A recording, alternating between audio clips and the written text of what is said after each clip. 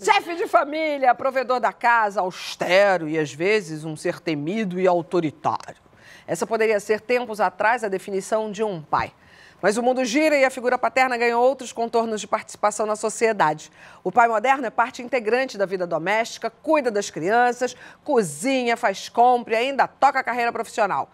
Esse homem bacanudo não está sobrando por aí, mas já existe. A participação do pai na vida dos filhos vem sofrendo grandes transformações e novos modelos de paternidade já são percebidos e absorvidos pelo cotidiano das cidades. Alguns banheiros masculinos já são equipados com trocador de bebê. Isso é uma vitória a ser comemorada. Mas quais são, então, os aprendizados que a gente traz dos nossos pais e quais as mudanças mais representativas nos pais de hoje? Na semana passada a gente conversou, a gente pode começar essa conversa novamente sobre isso. A gente está fazendo tudo isso porque domingo é dia dos pais e porque eu acho que a gente está vivendo o grande momento da transformação masculina com relação à paternidade. Sim. A gente falava aqui que a Pete já tem um marido que divide com ela as funções. A gente já não erra mais ao falar ele me ajuda. É. A, gente, a gente já fala divide e tal. Então, e aí? Como é que foi seu pai ou como Meu... é que você se projeta como pai? Meu pai foi um pai maravilhoso para as crianças, porque Nossa. ele chegava em casa e brincava com a gente, se divertia e contava história e fazia luta. Então, como pai, eu, Fábio, pequenininho, amava. Agora, nunca ajudou em casa, nunca fez nada, nunca cozinhou, nunca mexeu, nunca dividiu nada. Ele era para as crianças o máximo, porque ele sempre foi muito, levava a gente para fazer as coisas e tal. Mas ali, eu, tanto é que as lembranças da minha infância todas, a maioria são com meu pai poucas com a minha mãe, porque minha mãe estava fazendo coisa. Minha mãe estava resolvendo coisa. E eu lembro dele contando história, eu dormindo, ele chegando. Minha mãe fala que ele chegava. Minha mãe botava para dormir, meu pai chegava bêbado, me acordava, levava pro alto, é, brincava comigo horas e caía, dormia. e aí eu ficava acordadíssimo, agitado, e ficava minha mãe cuidando de mim e tal.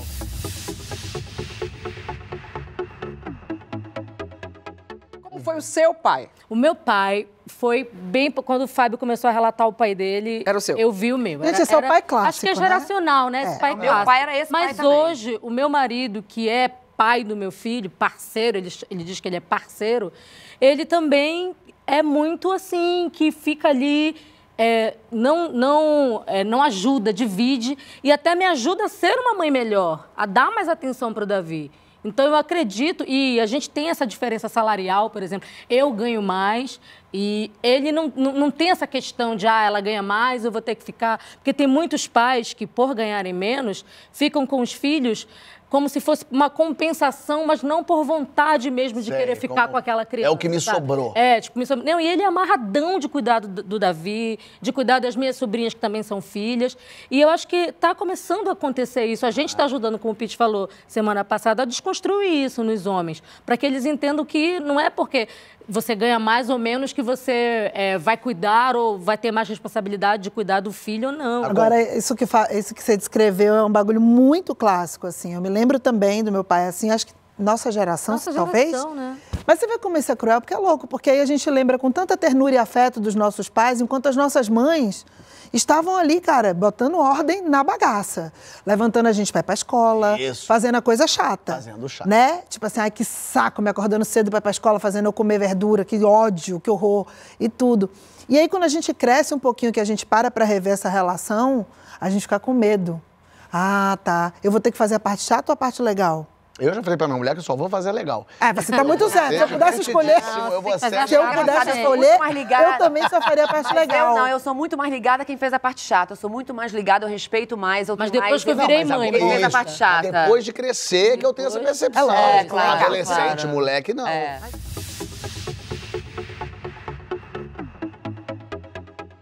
E é o, gran, o grande lance, acho que a, a matemática fica muito interessante para as novas gerações, aonde a gente não vai, esses pequenininhos todos aí, não vão ter a questão de gênero definida. Sim, só é uma coisa de menino ou coisa de menina. É só dessa forma, porque se você dentro de casa divide as tarefas de forma eh, eh, que, que, não, que, não, é, que não seja igual, não, que não seja igual, o menino, a menina faz mais tarefa dentro de casa. Esse menino vai crescer achando o seguinte, claro. eu tenho que ser cuidado. Eu vou ser cuidado, já estou sendo cuidado aqui, então realmente tem que dividir de forma mais igualitária É uma mesmo. esponja. Eu estava vendo um documentário chamado Explaining, que é bem interessante. Sei qual é, e, maravilhoso. qual é? E aí tem um sobre desigualdade de salário entre homem e mulher. Eles foram fazer uma pesquisa e eles viram que, na verdade, a desigualdade de salário não é entre homem e mulher, é entre mãe e homem. Assim. Total. Quando a, a mulher vira mãe, acabou, acabou a vida. E aí, quais são os países que, que sacaram isso? A Islândia, a Finlândia, a Suécia, eles faz- fizeram o seguinte: não, ela ficou, a mãe vai tirar seis meses, o pai também vai tirar. Porque daí, para a empresa, ah. não tem desvantagem Lógico, nenhuma. é a mulher É a consegue mulher e o homem. lógico. Então, tanto faz. E aí, quando virou isso, pronto. Você aí, igualou de isso, novo. E a empresa né? que consegue perceber que é muito melhor você esperar aquele funcionário voltar do que você substituí-lo, o que vai levar o tempo de adaptação, o tempo de treinamento, enfim.